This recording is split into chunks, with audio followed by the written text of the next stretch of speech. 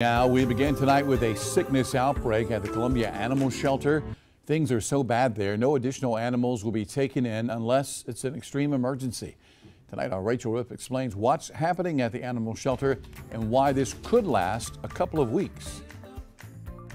Dogs at the Columbia Animal Shelter are sick. City officials tell us they're dealing with an outbreak of canine pneumovirus, which is a respiratory illness. They say it's spread through saliva and nasal discharge, with symptoms of cough, loss of appetite, lethargic behavior, sneezing, runny nose, and fever. So for now, they're only taking dogs in emergency situations who are sick, injured, or suffering from an animal cruelty case.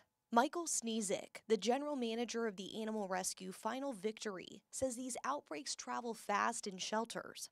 In a shelter environment, it's so easily transmitted because dogs are constantly being moved places, dogs are coming in, dogs are going out. He says he's hopeful this will pass in about three or so weeks. They have it already under control. You know, I was there today picking up three dogs from them, one of which has actually the virus. We we had already committed to her and she had it, so she's under quarantine right now. Sneezik says he'll quarantine this dog an extra 10 or so days since they have the space to do so.